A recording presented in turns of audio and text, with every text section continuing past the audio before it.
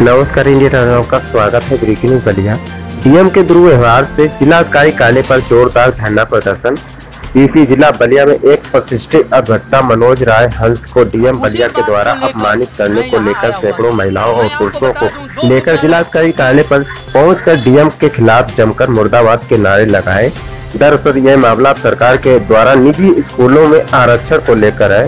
अधिवक्ता मनोज राय हंस के द्वारा हज़ारों गरीब परिवार के बच्चों एवं एडमिशन कराने में मदद के लिए। मनोज राय हंस अधिवक्ता सिविल कोर्ट बलिया। इधर इधर इधर देखिए इधर देखिए। हाँ, हाँ। मनोज राय हंस अधिवक्ता सिविल कोर्ट बलिया। अच्छा मनोज जी आज किन मांगों को लेकर आप ये आप लोगों ने विरोध प्रदर्शन किया है? देखिए गरीबों को आर टी एक्ट 2009 के तहत एक अधिकार मिला है जिसके तहत सभी प्राइवेट विद्यालय में 25 परसेंट सीट पर गरीबों के बच्चे को पढ़ाना अनिवार्य है। इसमें 10-12 स्कूल हैं जो जिलाधिकारी और हमारे जनपद के विधायक और मंत्री और सांसद के चहेती विद्यालय हैं, जिन पर कार्रवाई करने के लिए मैं डीएम से कहा था कि आप मीटिंग बुलाइए। डीएम ने अभिभावकों की मीटिंग बुलाया था और 24 तारीख को कलेक्ट्रेट सभागार में मीटिंग थी। मेरे लिए कोई अलग से आदेश होता नहीं है, मैं अभिभावकों के साथ चला जाता हूँ। मैं उसी तरह से अभिभावकों के साथ वहाँ पे गया।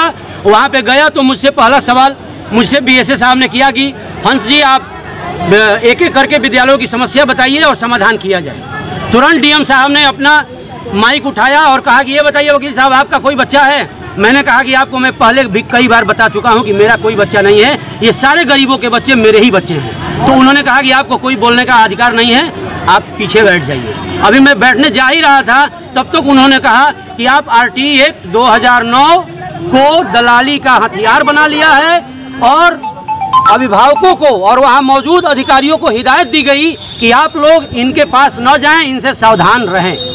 मैंने कहा कि, सर, कोई प्रमाण है तो मुझे जेल भेजिए। और नहीं तो आपकी मैं बात का विरोध करता हूँ और आपकी सभा का बहिष्कार करता हूँ। मुझे अवसर दिया जाए माइक देकर कि मैं अपना प्रतिरोध करूँ, लेकिन मुझे माइक नहीं। जिलाधिकारी बलिया के इस कृत्य को देखने के बाद मुझे ये निश्चित रूप से स्पष्ट तौर पे महसूस हो चुका है कि शायद वो अपनी मानसिक संतुलन खो बैठे हैं। उनको पता नहीं है कि हमारी मानसिक स्थिति ठीक है कि ठीक नहीं है। क्योंकि वो आवेदनों से घबरा रहे हैं। वो चाह रहे हैं कि मेरे पास आवेदन कम से कम आए। वो जनता को खदेड़ दे रहे हैं। अब अधिवक्ताओं को वो मतलब घूसखोर, बेईमान ही समझते हैं। जो भी शिकायत लेकर आता है, उनको लगता है कि ये उनका दुश्मन है। इसका मतलब मानते हो मानसिक तौर से पागल हो गए हैं। बिल्कुल मानसिक स्थिति उनकी ठीक नहीं है। उनको या तो इलाज कराना चाहिए नहीं तो ऐसे व्यक्ति को जिलाधिकारी जैसे पद की कुर्सी पर बैठना नहीं चाहिए। जिलाधिकारी की कुर्सी पर बैठने वाला आदमी सीएम का प्रतिनिधित्व करता है। उत्तर प्रदेश गवर्नमेंट लाख बढ़िया काम कर ले। अगर ये जिलाधिकारी बलिया में रहा तो उत्तर प्रदेश गवर्नमेंट के सारे कामों पे पानी फेर उनकी उपस्थिति भी हो गई। जानबूझ करके मंत्रियों ने दबाव बनाकर जिलाधिकारी से मुझे डिमोरलाइज कराने का प्रयास किया। मैं आज यही मांग लेकर आया आया हूँ कि पाँच हज़ार गरीबों का एडमिशन हमने तीन साल में कराया है। यह एक्ट 2009 से लागू हुआ था। अगर डीएम इतना ही ईमानदार है तो ये 2009 से बता दे और 2016 तक ये और इसका तंत्र कितना एडमिशन कराया है। 2016 में मेरे आमरण अनशन करने के बाद इस व्यवस्था को लागू किया गया और तब से मैं पाँच हज़ार गरीबों का एडमिशन कराया हूँ। पाँच हज़ार गरीबों में से इनको एक भी गरीब अभिभावक नहीं मिल रहा है, जो प्रमाण के साथ ये कहे कि मैं मनोज राय हंस को घूस दे रहा हूँ। अगर ऐसा प्रमाण जिलाधिकारी के पास नहीं है तो जिलाधिकारी किस हैसियत से मुझे दलाली का हथियार बनाने का और दलाल जैसे शब्द का प्रयोग करेंगे? ऐसा दिल जिलाधिकारी के शब्द के प्रयोग को देखकर मुझे लग रहा है कि ये अंग्रेज़ों के जमाने का जिलाधिकारी है। बीजेपी की सरकार को हम लोगों ने चुना था।